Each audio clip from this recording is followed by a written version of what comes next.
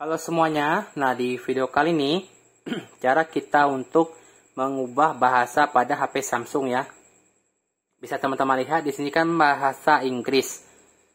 Jadi buat teman-teman yang mungkin bahasa Chinese dan sebagainya ataupun bahasa Inggris dan dan kemudian teman-teman mau mengubah ke bahasa Indonesia. Jadi caranya cukup mudah ya. Oke, di HP Samsung teman-teman ya, teman-teman buka saja di pengaturan. Kemudian teman-teman pergi ke bagian sini ya. di bagian general manajemen ini ya. Kemudian di sini teman-teman pilih di bagian atas di sini. Nah, kemudian di sini kita pilih Indonesia. Jadi kalau misal tidak ada Indonesia di sini, kita harus tekan tambah. Kita cari saja di sini Indonesia ya teman-teman ya. Nah, di sini pasti ada Indonesia, dikenakan sudah saya tambah. Jadi tidak perlu cari di sini lagi, karena sudah ada di sini. Jadi caranya kita tekan di sini, tekan apply.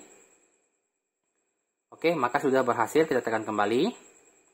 Nah, sekarang sudah menggunakan bahasa Indonesia ya teman-teman ya. Jadi caranya seperti itu. Terkadang HP baru beli dia ada yang memang sudah terset bahasa Indonesia, kadang ada juga di bahasa Inggris ya teman-teman ya. Jadi caranya seperti itu. Oke, semoga tips singkat ini bermanfaat untuk teman-teman semua. Buat teman-teman yang ada pertanyaan, silahkan komen aja di bawah ini. Oke, see you next video. Dadah.